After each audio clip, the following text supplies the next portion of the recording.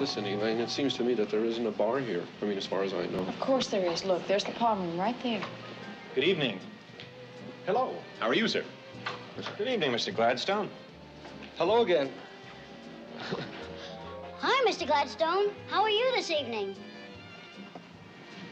Benjamin, Let's get out of here, Elaine. Let's go somewhere else. do they know you? of course not. Good evening, sir. Come on, Elaine, we're leaving. Mr. Gladstone, how are you? Benjamin, what's happening? I don't know. They must think I look like this guy Gladstone. Hello, Mr. Brandis.